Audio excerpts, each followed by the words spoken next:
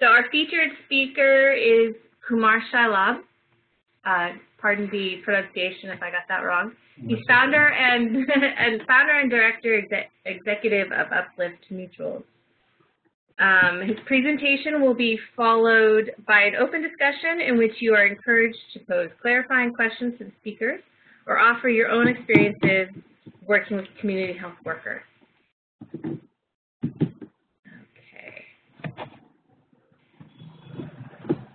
So we wanted to take a few minutes at the very beginning to give everybody an update on what's happening with the community practice.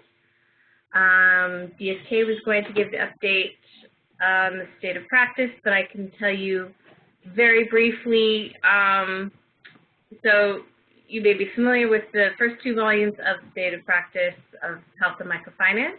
We are developing a, a third volume that will look at um, what is the state of microfinance, what's the state of healthcare access in India, and then delve into some of the different models for delivering integrated healthcare, uh, health and microfinance, some case study examples that we've done looking at um, a program that Equitas and Vision Spring have, um, program um, SSP has, and ADS and Bandhan, a few of these different examples that will be in there, as well as some um, client stories from a Health Diaries project that Grameen Foundation and Freedom from Hunger India Trust have um, just completed uh, a two-year program where microfinance clients did a basically a daily journal uh, or a regular journal of their um,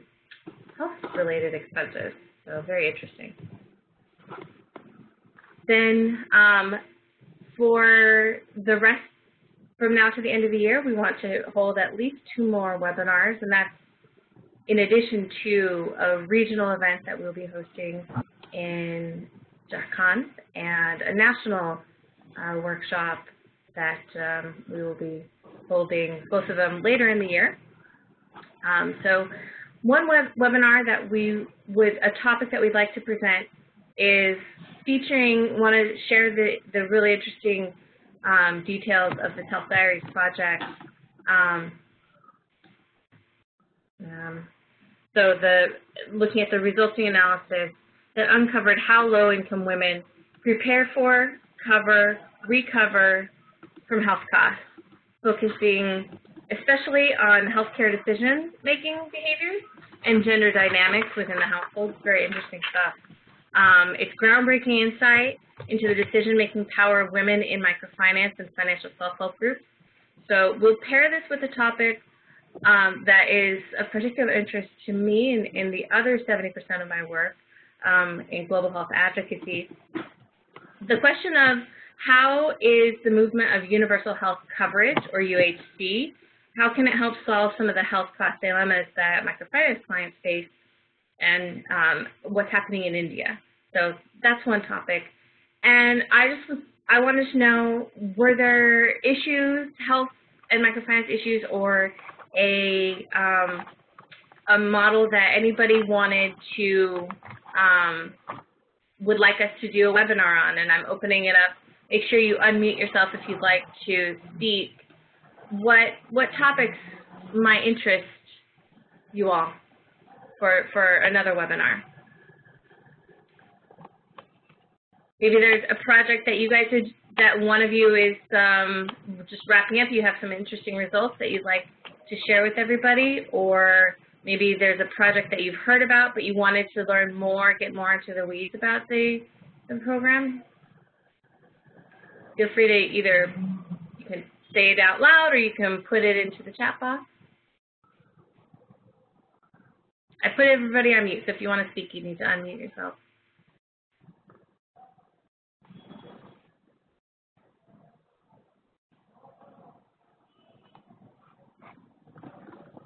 Okay.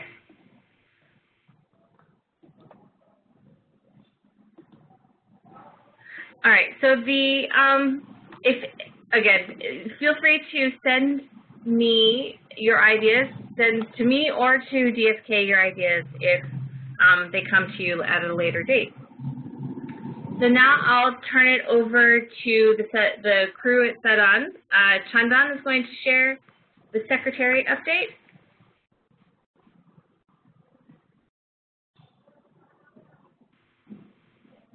Saibal, if you're speaking, you're on mute.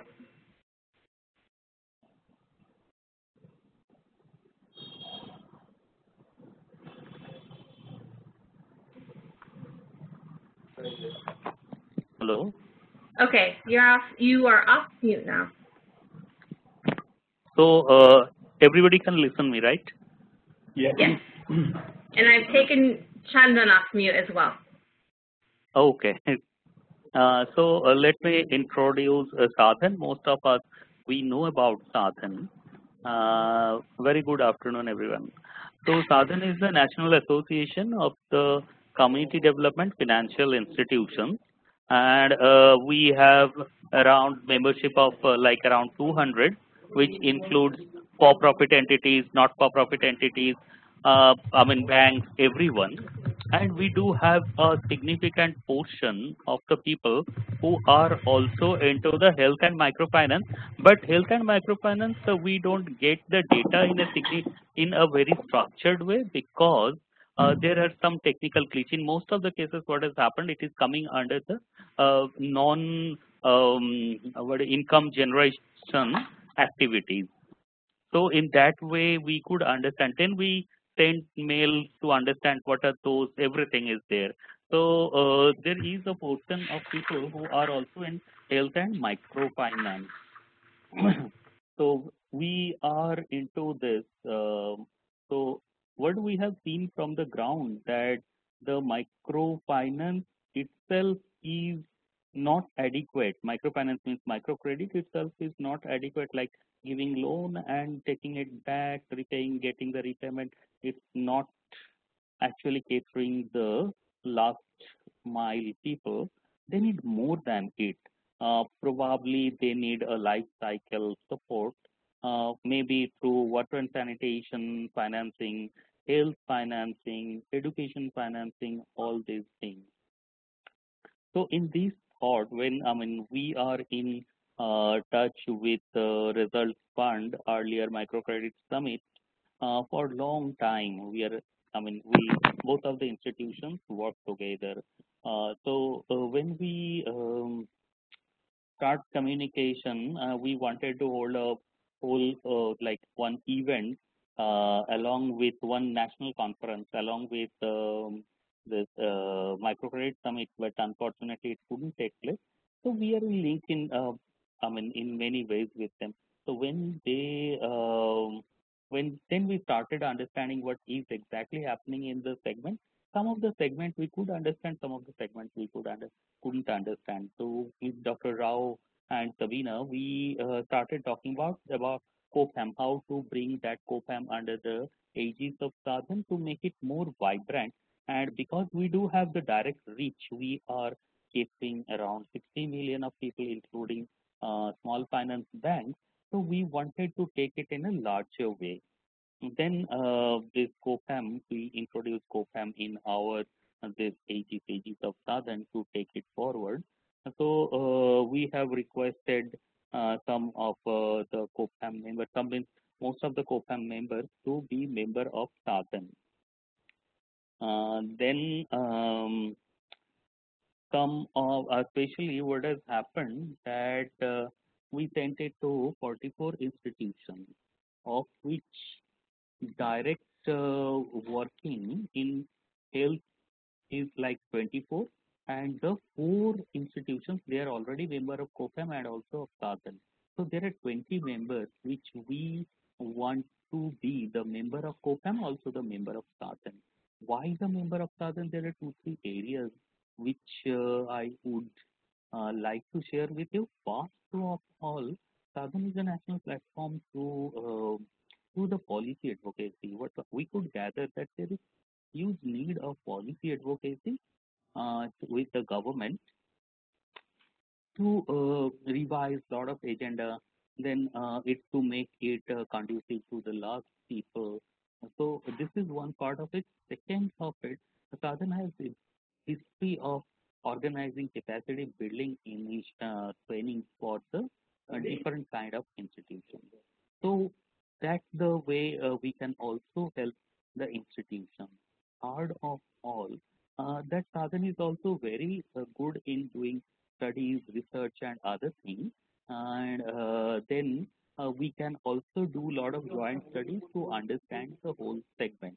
And fourth and above all, which is our touch point with the last point, last mile touch point with the clients. I have already mentioned that there is uh, 60 million clients we are catering to. And so we can reach uh, the 60 million people with our initiatives in the uh, initiatives of uh, around this health thing. So these are the four five areas. If you are a member of Sadhan, uh, you can also uh, get access to all these things, and you can uh, get access. That's a different way of, of selling the thing. But uh, more of all, it you can also contribute, get to contribute in the segment in a larger way. It is not only just in West Bengal, in Jharkhand, in somewhere, in somewhere. It's a huge mass where you can also support. Some of the things I'm telling you that we don't understand, we understand the economic part of it, but your specialty will also strengthen the whole initiative and take it to the mass.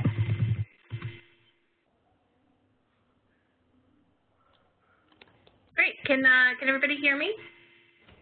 Yeah. Yeah. Okay, I have um, dialed, I've come up with a creative solution to get DSK in, his technology is not working. So I have dialed in through Skype and DSK is, is joining us in like a three-way call. So DSK, you want to say anything about, um, I gave a very brief update about the state of practice. Is Yeah. there anything that you wanted to say um, Yeah. for Can, particular? can, can I have two, three minutes? Sure. Oh, and Yeah. sorry, uh, Saibal, thank you so much for, for giving that update. Um, was it, was there anything else that Chandan was going to, to add to that? Or were there any questions that anybody had for Saibal?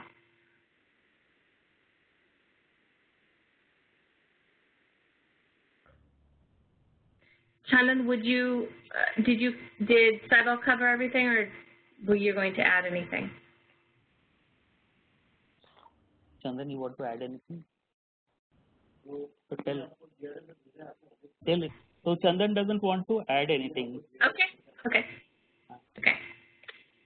All right, I'm going to put you both back on mute, so you can always unmute yourself. Um, you just go to your uh, your entry and uh, click the unmute button. Uh, DSK, go ahead. Three yeah, minutes. two, three minutes, okay.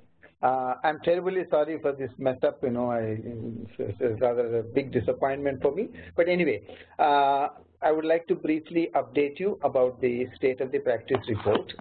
Uh, even before COPHAM came into existence two years back, uh, Results Educational Fund and Freedom from Hunger India Trust have been publishing the state of practice of microfinance and health in India. The first volume came up as early as 2012 and the second volume came up in 2014 and both these volumes be published in collaboration with the Indian Institute of Public Health Gandhinagar with the Somen Saha, Professor Somen Saha as uh, the main author. And the state of practice report actually documents some of the successful projects of integrated health and microfinance as implemented by a variety of organizations. You know, even uh, small finance banks are promoting health and NBFCs are promoting health and SHG promoting, NGOs are promoting health. Uh, the, the, their su successful efforts are documented and also it discusses the innovations taking place in the health sector, particularly in the diagnostic health sector which are relevant for microfinance institutions. The report also covers health financing, including health microinsurance. The, the most important thing of uh, COPHAM and the idea here is partnership between two different sectors. The successful partnerships between microfinance providers and health organizations will, will, are also discussed in this report. For example, the trust promoted by Equitas Small Finance Bank has a great partnership with Vision Spring, under which you know they are providing eye, eye care, eye screening for 50,000 poor people in Maharashtra state, and also selling uh, spectacles at a very low price of 50 rupees per spectacle. And CASHPOR is partnering with Healing Fields and promoting uh, uh, community health facilitators. Like that, you know, in this report, we will be discussing some of the interesting collaborations that have taken place between the health and the microfinance sector. And uh, this will be sort of a reference point for microfinance providers interested in health, and also it will be informative for health promoting agencies which are interested to work with microfinance institutions. Sadhan conducts national seminars every year and this year's seminar is going to be on 19th and 20th of September and we hope to publish this report volume 3 during Sadhan's seminar. And uh, this is a brief uh, uh, update about the state of practice report and this is now being uh, jointly worked with the Results Educational Fund and Sadhan and, and Dr. So, Saha, a professor in IIPHE. We three are going to be the joint authors for this uh, report. Yeah, that's it, Sabina. Thank you, DSK. Um, all right, and then the final little bit of updating from the community practice. The member compendium is, um, we've received the compendium worksheets from the organizations listed, as you can see in front of you, ADS, Bandhan, Banca, Bialu, CASHPOR, Cross, ESOP, Opportunity International, uh, PMD, Samhita, SAS, Sesame Workshop, SKDRDP, Sukaria, and Uplift Mutuals. Your name is not up there. That means I don't have a version, but if you have done it and you have submitted it, please resend to the email you see below you. Okay. Any questions from anybody? And remember, you are um, default on mute, so if you, um, you want to say something, you need to take yourself off mute. Click the microphone button when you hover over your name. Okay, I'm going to take that as a no. So, um, I think everybody knows DSK. I'm going to hand it over to, to him to introduce today's featured speaker. Go ahead, DSK. Yeah.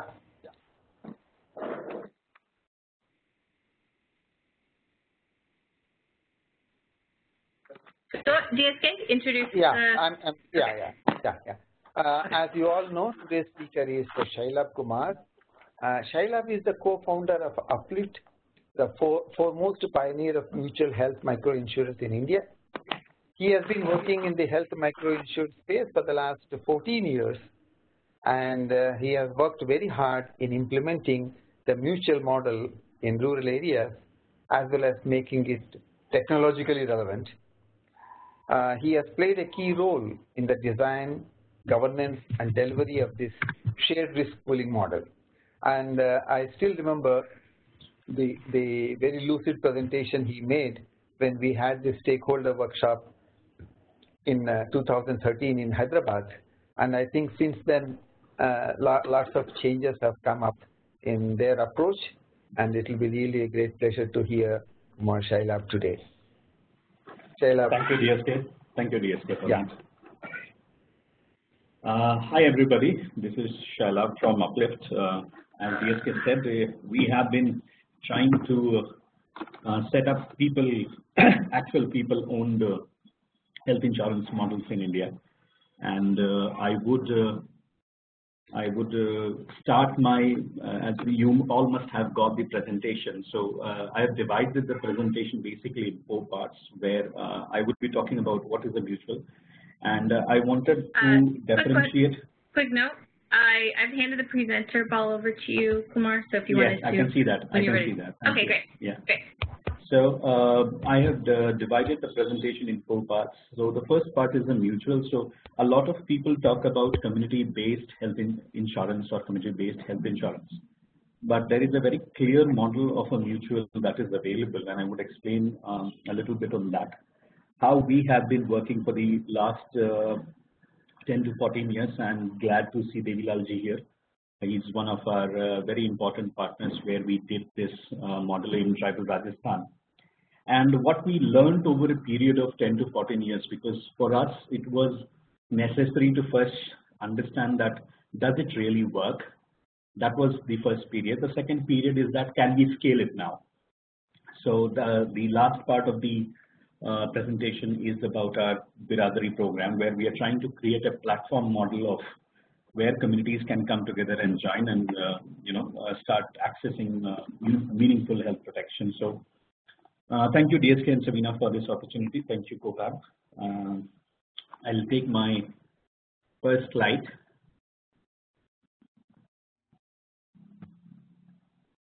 So what is a mutual now? Uh, many of us uh, who talk about community-based insurance, uh, there is no clarity on it. Is exactly what does it mean? Do they own the funds? Do they transfer the funds and still own the claims, as uh, Seva was doing for some time? But uh, a mutual model of uh, insurance is, is a very well-defined model where people come together and pool their risks instead of transferring the risk to a third party. And in India, before independence, we had mutuals. In fact, in the Insurance Act of 1938, there was a mention of mutuals late uh, as as late as 2015. After that, it was removed. Uh, so it's it's it's something where the insured is the insurer. So there is no difference between the insured and the insurer. People collectively come together and pool their risk. Very similar to the SHG model, where people come together to start savings and you know do, do loans amongst each other. Um, mutual insurance is is a known line of business outside India. So 30% of the world insurance market belongs to mutuals. Very sadly, we don't know that uh, all the G8, G20 countries have uh, mutual insurance as as a as a second model of doing insurance, whether it is US, UK, Japan, France, Germany, um, all these countries uh, and now China also. China has just opened its market for mutuals uh, last year. So all of them have a space for uh, community managed insurance schemes. And there is a slight difference in mutual and cooperative insurance. Cooperative insurance the profits are shared with the members whereas in mutual insurance the profit is kept in the company itself. It is not shared. It is kept as a capital that grows over a period of time. If you look at the principles on which this is uh, set up, it's very close to our SHG movement. It's very close to the community-based movement that we have been talking about. Uh, what is different here definitely is the profit and loss sharing part. In a mutual, members share the profit and share the loss. Whereas if you look in the commercial model, there is only loss sharing. And uh, the, the, one of the defining features of a mutual is that it is not profit oriented. It it is not loss oriented also, but it is not profit oriented. It is member need oriented. So it's about people coming together and starting up uh, these mutuals. And to give an idea of uh, how big these mutuals are, uh, there is a now a mutual in France which owns 30% of the health insurance market over there and is a not for profit. It, its turnover is uh, roughly between 70 to 80.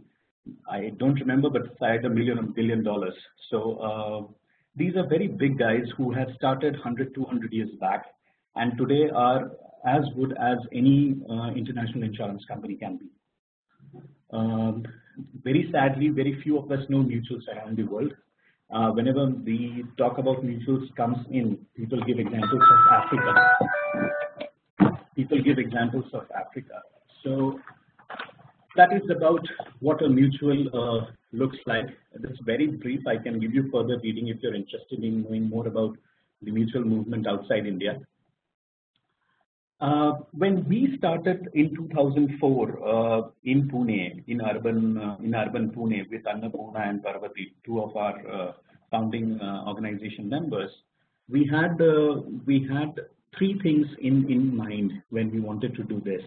And these three things are primarily based on what we understood was the shortcoming in the commercial model.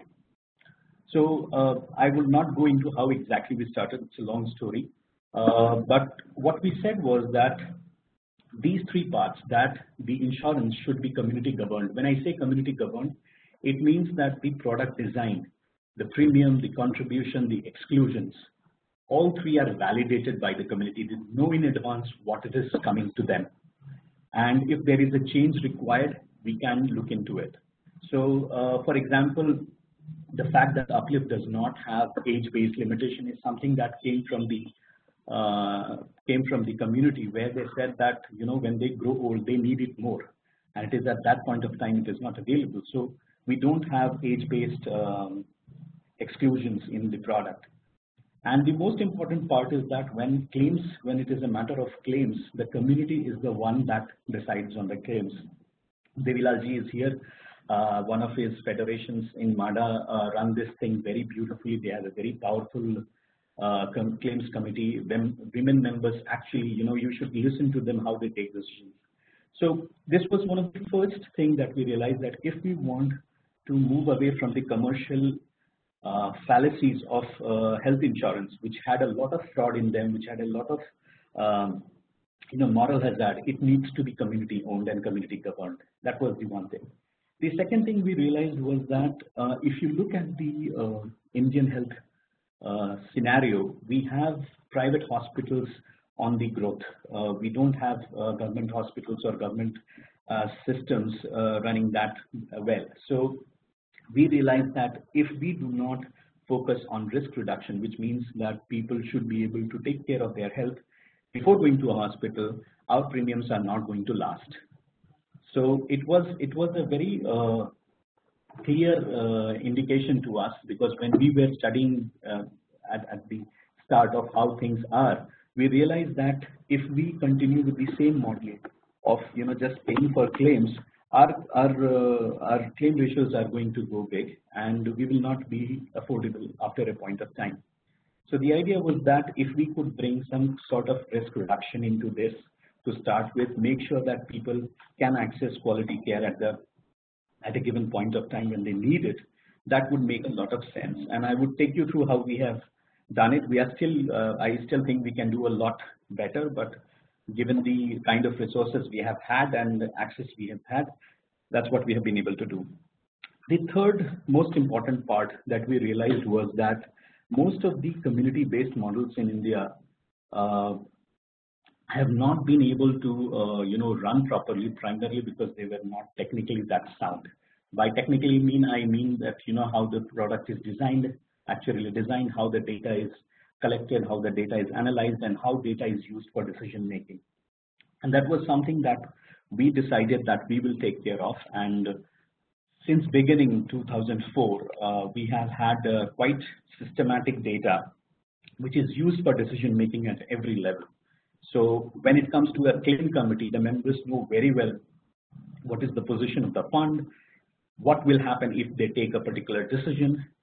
So all these all these things are taken care of it, and uh, right now we are we are at a stage where we are uh, delivering this entire product through a mobile app. So the idea is that uh, just because it is community based, it does not mean it is weak on systems. So um, we have made sure that since beginning we are taking everything based on data and that was also needed because many people used to question us you, you know uh, are you actually doing it you know? So the idea of uh, being able to publish data on a regular basis so we we now have data being published on a live basis so our members get information of how much money is there in their fund how many claims have been paid how many people have been benefited how many OPDs have happened live on their mobile app. So we just launched it in January. We are trying to make this uh, go through all our members. So that's that's the threefold model that we have been working on in the last uh, 10 to 14 years. Uh, sorry for this. This is 2004 to 2014, not 10. So in the in the first in the first part of Uplift, uh, we were uh, we were starting from scratch. We had no idea whether this will work or not. We had an idea that if people are taken to be the centerpiece of the design, it may work, but we were not sure that it will work because insurance is a complex product. It does not give results in a year or two. You have to wait and see for at least five to ten years to make sure that uh, you know it, it is stable. So in the first uh, 10 years that that we uh, that we started working, uh, we started working with Annapurna and Parvati in Pune. Then we started working with Chaitanya in rural Pune. Then we went to Mumbai with two other organizations, and and uh, then we went to SSP in in uh, in rural Marathwada, Osmanabad, Sholapur, Latur.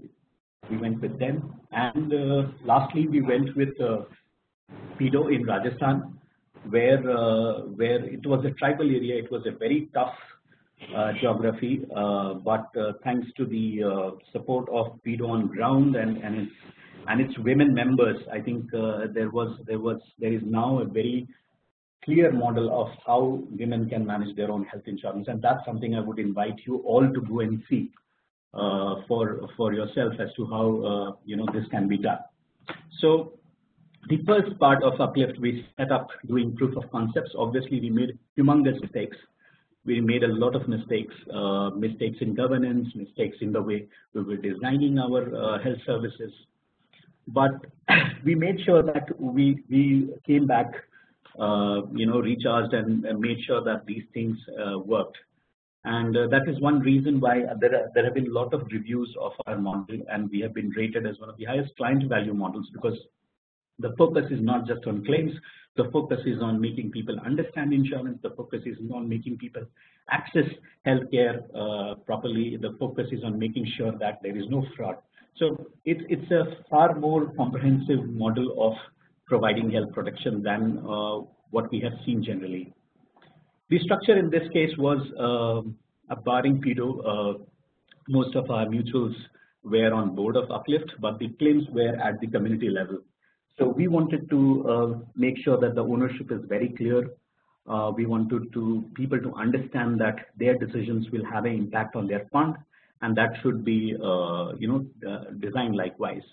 So this was the first uh, phase of uplift where we took about uh, 10 years to make sure that this model was running on its own. And I'm happy to tell you that apart from investments in the health services, the, the premium has never been subsidized. So uh, the entire uh, model has run, all its claims has run on what people have contributed. Uh, we did uh, require investments for setting up this, we did require investments for the health services and for some back office operations.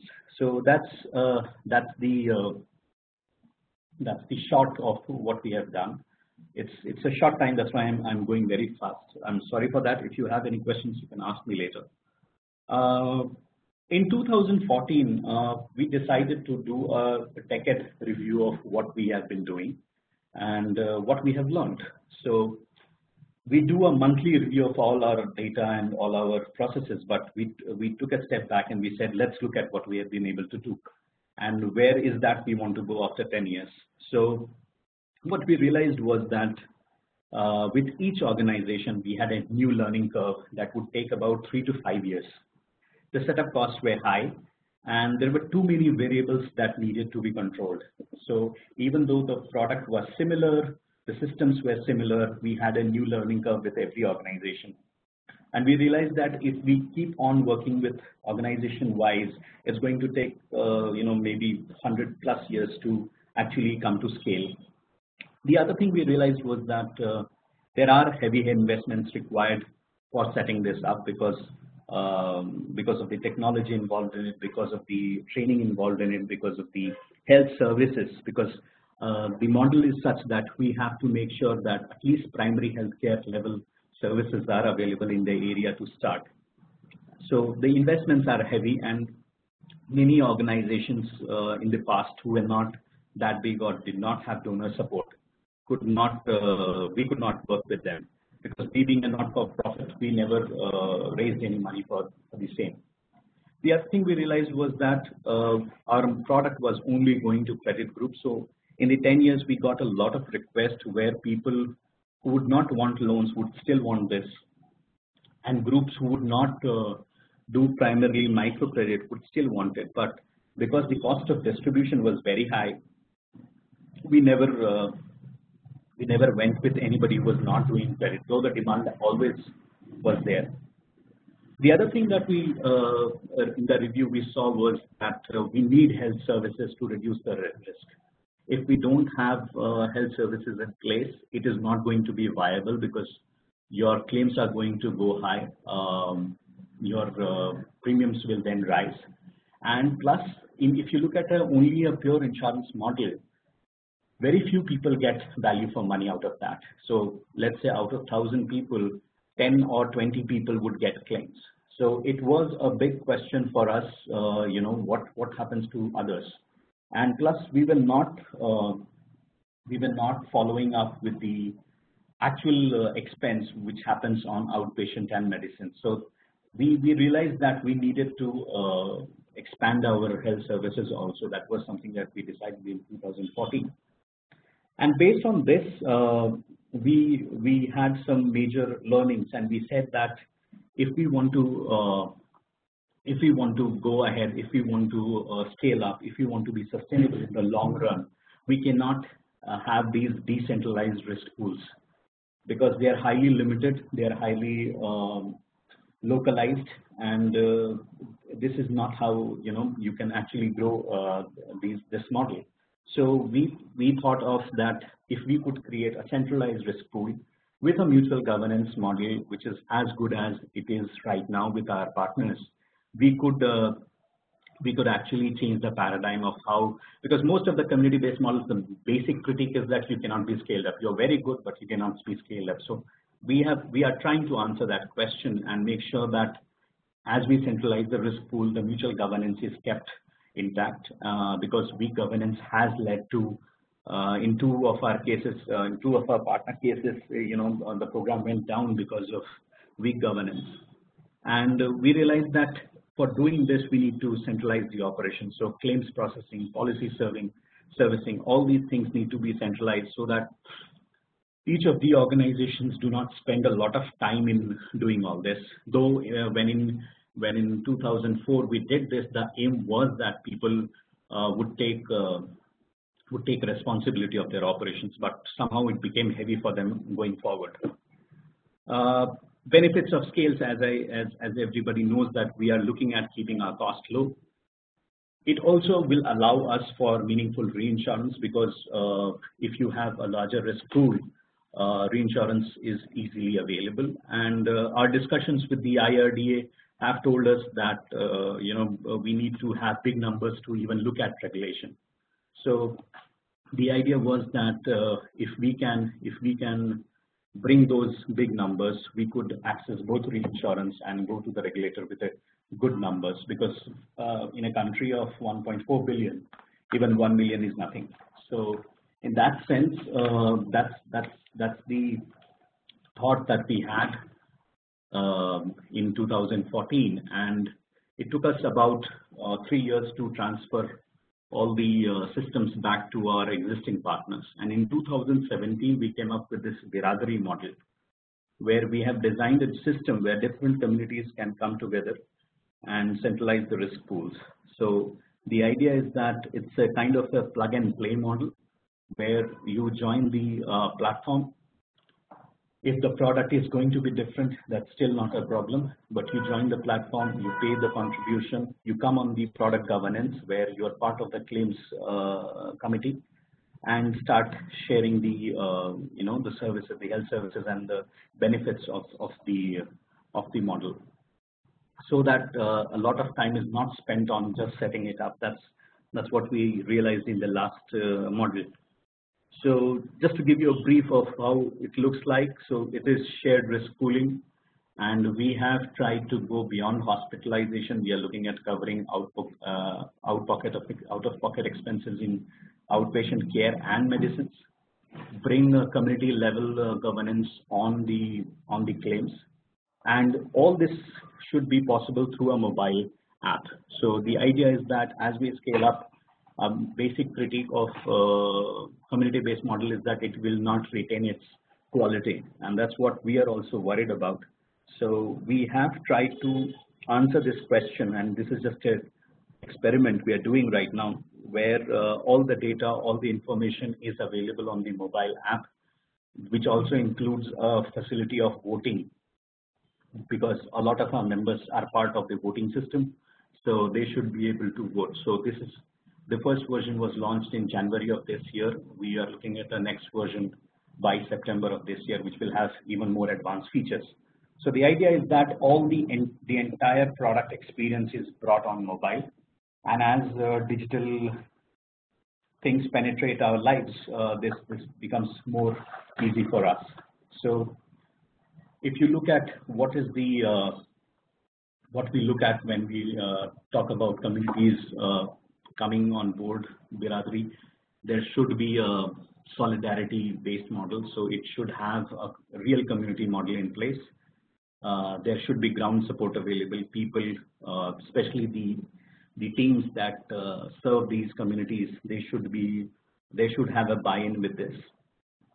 They should have a large number of uh, families available so that this can be scaled up and the enrollment is through group this is not retail at all and plus for the mobile and other operations we need to have basic internet facilities and at least a PHC level service uh, in the area so that uh, you know primary healthcare is available. Um, if you look at for whom this Biradaree is, so this is primarily for these entities, women's self-help groups, federations, cooperatives, unions, uh, we have had a lot of success with uh, small factories, companies who have 10 to 15 workers who don't get meaningful health protection for their employees also joining us.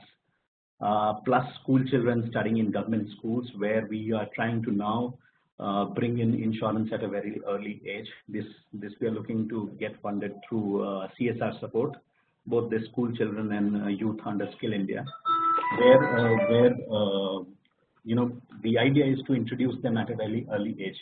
And of course, MFI clientele that has been the basic uh, basic base of what our Uplift has been doing in the last uh, 10 to 14 years. So that's for whom the uh, uh how how can one join Biradaree? So there is eligibility criteria. We would be doing the profiling of risk and the health services in that area uh, the organization has to validate the product and health services. Plus, uh, there is an MOU with Uplift where we look at different roles and responsibilities, and the idea is that it should be on an en bloc model or a group model. Um, as I said, if if I have to uh, very in very short explain what are the benefits of joining this platform is that it should be ethical. Uh, the other thing that uh, the other thing that um, I, forgot to say is that you know we have actually women deciding on claims, and that's something that is very rare to be seen. You have uh, communities uh, talking about health insurance, but decision is many times taken by somebody else. So we have have had to fight a lot to make sure that uh, women who contribute to the scheme are actually the decision makers. Uh, with the health services that we have in place, we are trying to re reduce the risk of our members on one, one end as well as provide value to members for their money. So if you look at a commercial insurance model, 10 to 20 people out of 1000 will get a claim.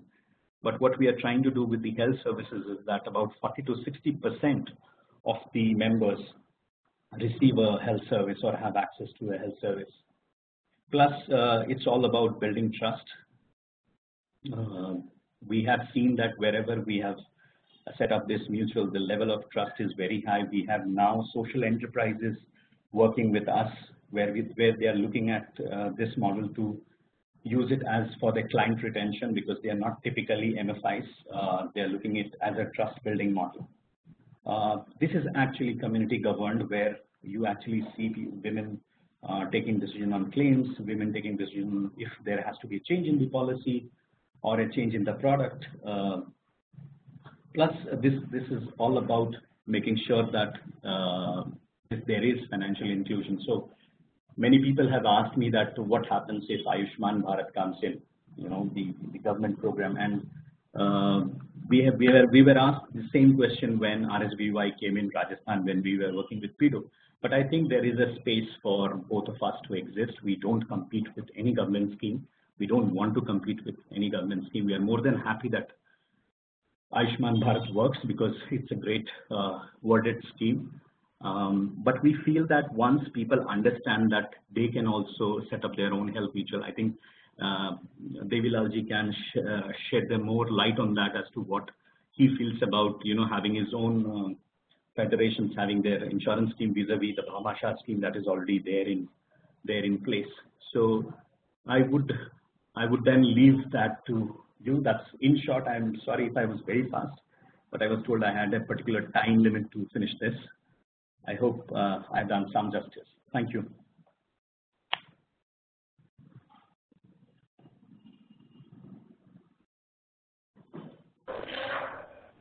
Wonderful. I had it took some time getting myself off of mute. Thank you so much for the uh, for the presentation, Kumar. I think it's been very illuminating. Um, there is a question from Vinayaka. I hope I got that question, your your name right. What is the premium per member per year? She asked. He asked. Yeah.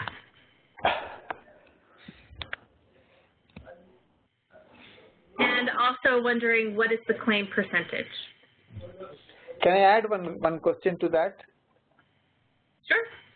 Yeah, with, sure. with uh, out-of-pocket expenditure covered and uh, outpatient care covered, how does the premium vary? How does the premium increase? How much increase is there as compared to the uh, earlier model? Okay. Uh, there are two things uh, we have to realize here that uh, the product is not a, cen a, centralized product design where we just design and give it to people. So the idea is that we do a survey of what is the cost and uh, cost of care available, what are the uh, what is the health services scenario in that area. But our premiums have uh, ranged from 100 rupees per person per year to about 300 rupees per person per year.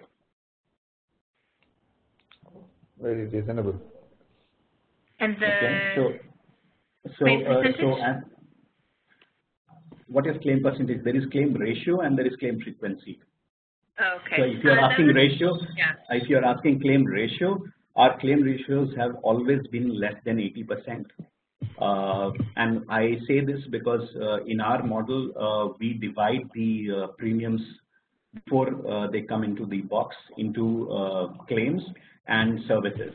So when I say 80%, if you do it in the commercial way, it will still come to about 60 or to 70%. So we are well below the well below the standard mark that is there in commercial health. And the major reason for that is that there are very few instances of fraud uh, in in our system, and uh, people are being able. In fact, uh, uh these federations these federations generate uh, quite a lot of uh, reserve as part of you know doing this mutual over a period of time. Yeah, uh, I would like to ask a couple of questions posed, I mean, uh, conveyed to me by Shaumitra Datta uh, from Freedom from Hunger.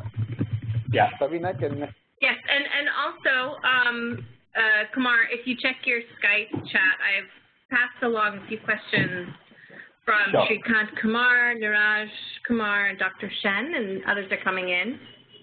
So go okay. ahead, DSK, and yeah. pose yeah. the questions. Yeah.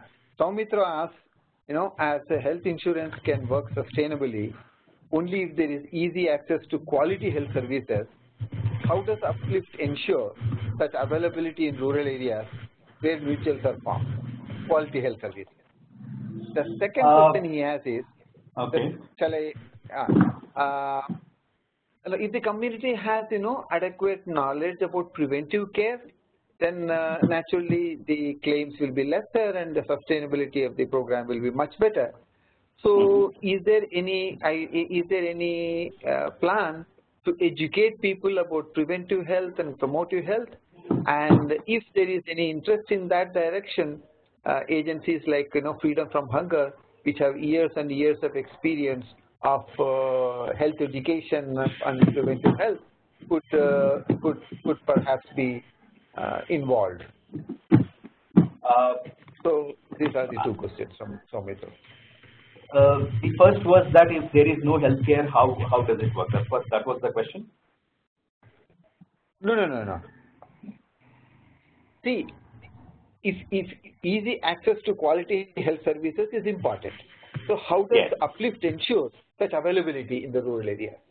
Okay, okay. Uh, I think it's one of the major defining questions of what we have uh, struggled so far in in our rural uh, rural portfolio, and uh, this is this is a major question when we actually go into a uh, go into any rural area. So whether it was Marathwada in Maharashtra or uh, Dungarpur in Rajasthan, uh, what we understood was that quality of care uh, was one thing, but you know, if, if you have uh, a place like Modasa, which is very near to Dungarpur, people were jumping to Modasa and uh, their average out-of-pocket expense for a tribal family, the, we, we did a survey for Dungarpur for PEDO uh, members, and that was about 29,000 rupees. So it's not that easy access uh, is the is the only problem. Uh, people had access there, but they used to only jump directly to Modasa. What what we have seen is that uh,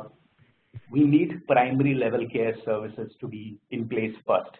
If that is available, a lot of things can be taken care of. And uh, to give you an example of uh, PEDO, we hired a doctor in the beginning to actually, you know, provide OPDs in these uh, federations, and he ran away after six months. And then Devilalji suggested that there is this there, there are these GNMs who are available yeah. for uh, mm -hmm. for primary care, and we brought them here to Pune. We trained them, and we uh, got them back uh, to PEDO and st uh, stationed them at each of the federation. We saw a massive jump in the trust level, in the enrollment level when these people were there. So they have now become a very uh, critical part of the program where they handle the 24-7 helpline. They make sure that uh, people call them, they, they can take them to CHCs or PHCs, they organize the health camps. So, and plus uh, they are in contact, uh, continuous touch with us. So what we have seen is that, uh, and that is where the investment is required. This cannot come from the premium. The premium does not support it for the first three to five years because otherwise it will become very expensive. So that's where Save the Children funded this part of it. And what but what we have seen is that uh, that this three to five years support, this primary level care itself was quite critical in bringing uh, massive change in the way people understood insurance.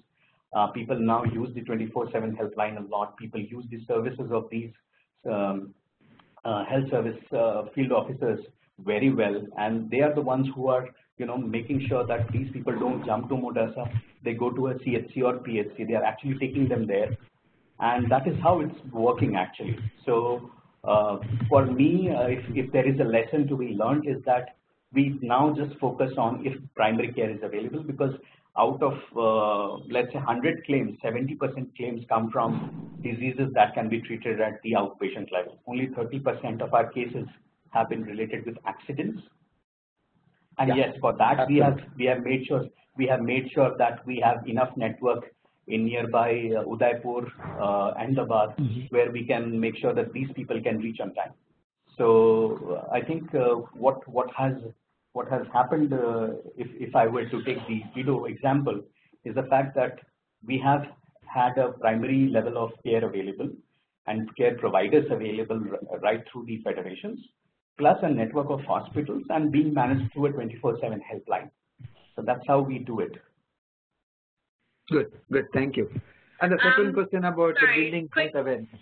Uh, before you answer that question, uh, we are at an hour's time, and I just wanted to ask if everybody is, first, is Kumar willing to go another 10 or 15 minutes? We have a number of questions from participants, and uh, Kumar, is that okay with you to go another 10 minutes? Yeah, I'm so? okay. I'm okay with that. Okay.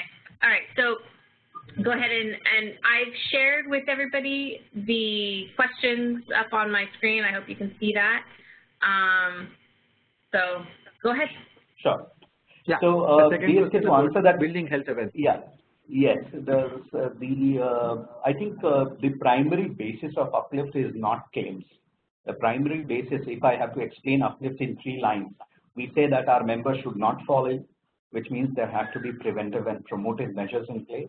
If they fall ill, they go to the right doctor, the right treatment and the right price. And a part of that uh, expenditure is borne by the community. In three lines, I just explained what we do.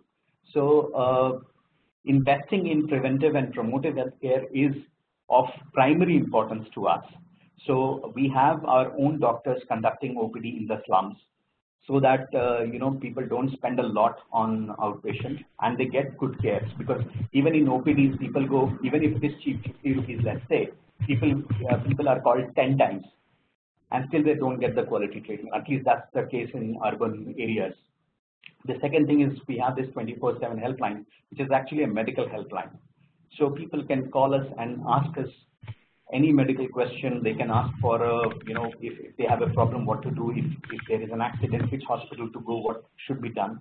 That plays a very important role. Plus we do massive health screening. So we have a, a season wise understanding of diseases based on our claims history. So we organize these health screenings over a period of time.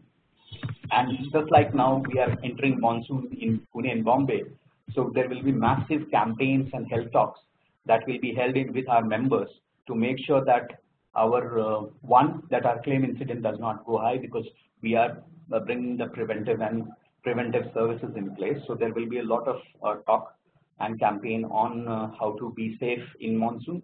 Mm -hmm. Plus the other the other part that we do very systematically is doctors talk to our women members on their health issues. So that is, and because uh, one thing that we found was different was that a lot of organizations do this kind of work.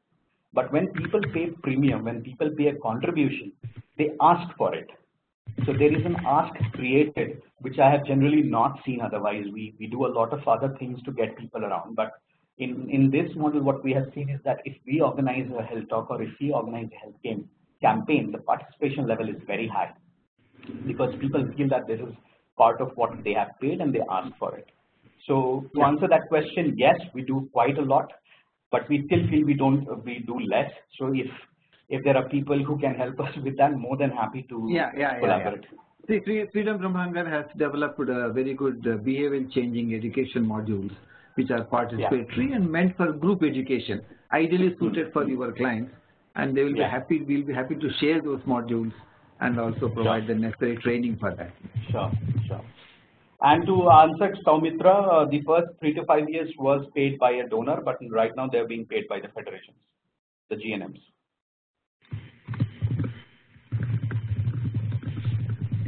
And a lot of Bengali doctors in Rajasthan.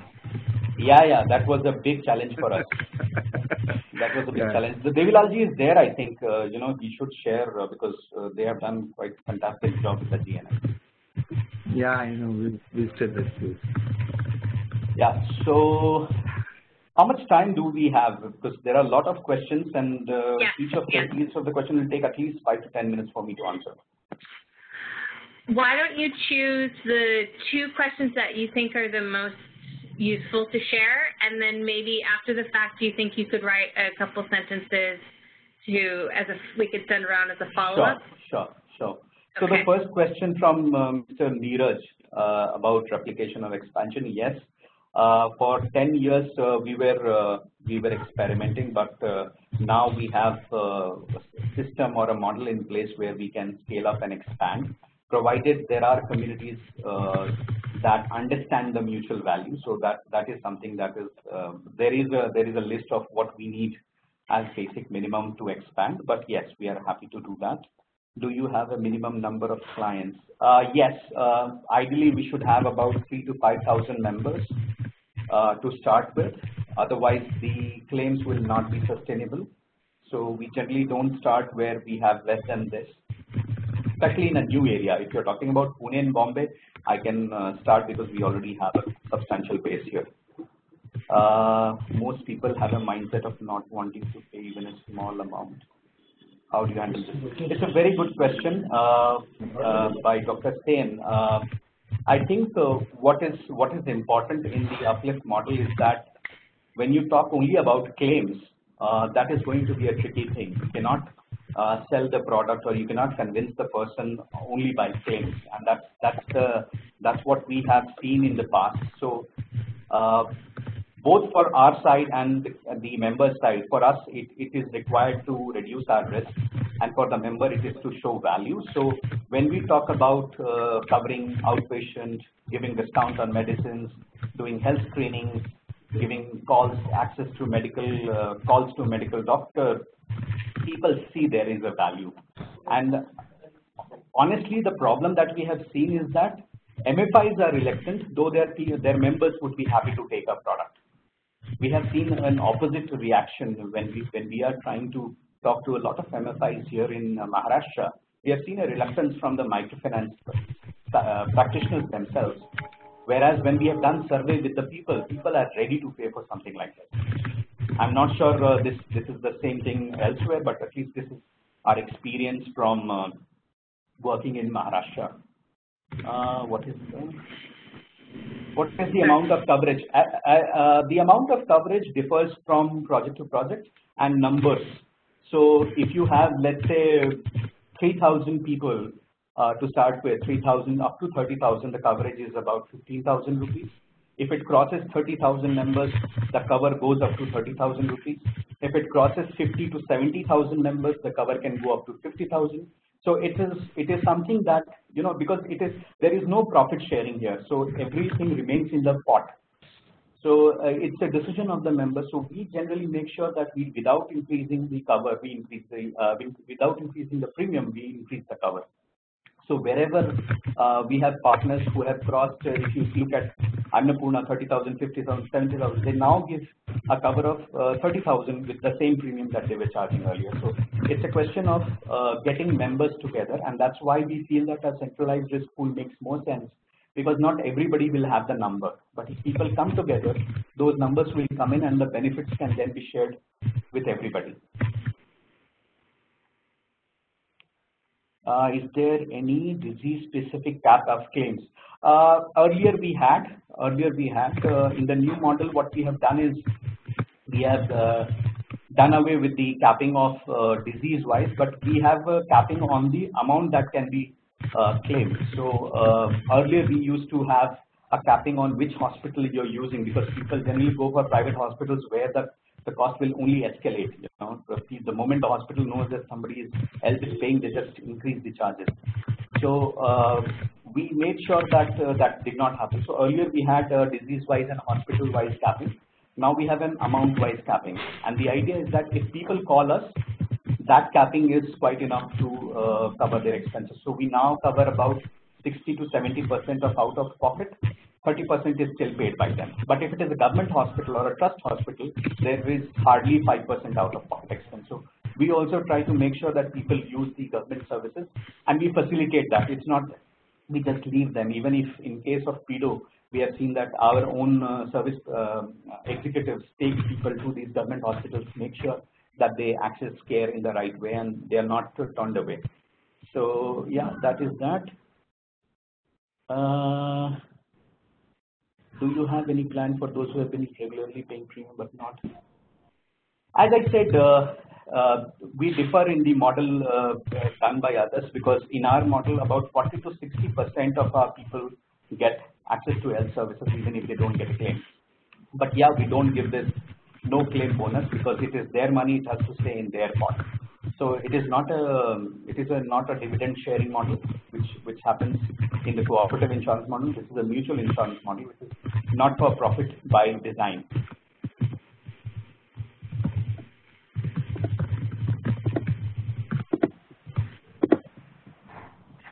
Uh, is PSC equipped enough to better health services? I think uh, the issue is about facilitation we have, I can share with you a testimonial right there from Pune. Uh, this happened just a week back where uh, a lady called up at 1 a.m. in the night and she was suggested the government hospital, but we made sure that uh, we contacted the doctor. So there has to be a facilitation in place. And what we have seen that if there is facilitation, things can be better. I'm not saying that they, they will change uh, for better, but facilitation is, is, is quite a you know, differentiator in, in how people access uh, public health care. So if there is a facilitation, I think they work.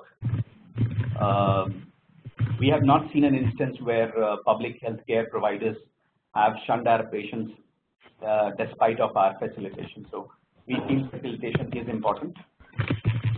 How long did it take to be cost even? See, uh, if you talk about the uh, the being um, breaking even, uh, you have to understand that from day one, the costs are taken care of by the premium for the claim part. When we are talking about the investment in healthcare, in training, in governance, that is the part that takes about three to five years of financing. And that's where we are seeing that uh, not every organization can do that. So the centralized uh, model of Uplift, this is taken care of by Uplift. So people have to just join in. We take care of everything else. So the idea is that if we keep investing with each organization, it will take us three to five years with each organization, and that's going to take a long time to scale. What is the structure of this scheme? Is this registered as an insurance company? Uh, it is registered as a not-for-profit uh, trust.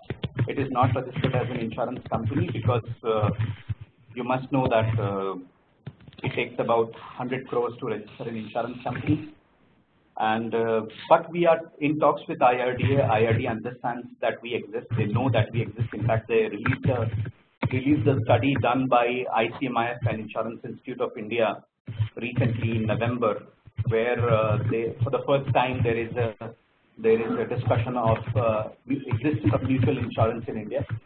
Uh, and uh, the idea was open to the idea of looking at us, uh, looking at uh, risk proportionate, capital proportionate risk, something like that, that they are going to do in 2020. And they have said that you show us scale, then we will be ready to look at you. At this numbers, you don't make sense to us. So I think so the challenge for us now is to scale up, to scale up in different parts of India with the same quality that we are delivering in Maharashtra. So we settle claims on a reimbursement basis today in less than a day. So that's the speed at which we are now settling our claims, which was uh, which used to take about 45 to 60 days in our earlier model. So yeah, that's uh, that's that's the thing that we are doing. We are we have just begun. It's not a finished model. It's not a ready-made model. I think there is a, a big learning curve uh, ready waiting for Uplift to work with different partners across India, and uh, we are happy to collaborate with anybody who feels aligned with what we do. Wow, you got through all of those questions in about 12 minutes. Congratulations. yes, I was, I was, I was trying to answer because you know once we yeah. uh, go out of this, it is very difficult yes. to answer these questions. We don't get time. Absolutely, absolutely. Well, let and me. thank you for um, typing all of that. Yeah, I didn't get the first, you know, the first set of questions um, since I was still trying to collect them. Um, but our, well, no, I'm not even going to say are there any more questions. There is a lot more information. Um, we will share with you the recording of the webinar uh, after the fact. Sorry, DSK, can you put yourself on mute real quick so I can hear you typing? Thanks. Um, there are also other slides that Kumar mentioned that we have. We just threw them to the end of the slides um, because there's just so much information to share.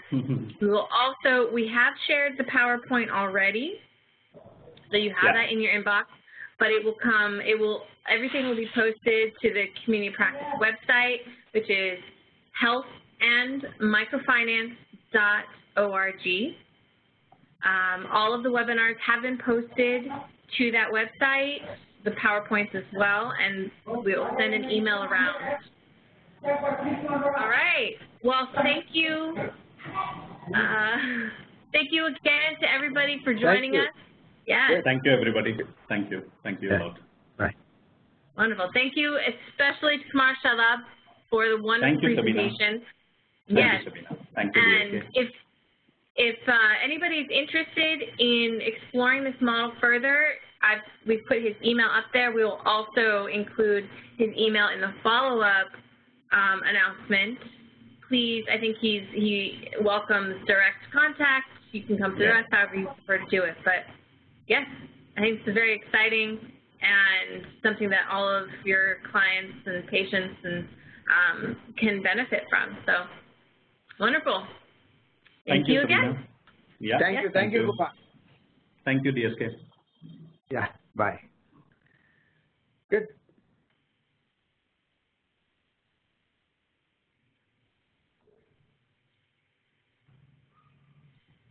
Hello. Oh, I'm just, I'm I'm ending the meeting. Yeah.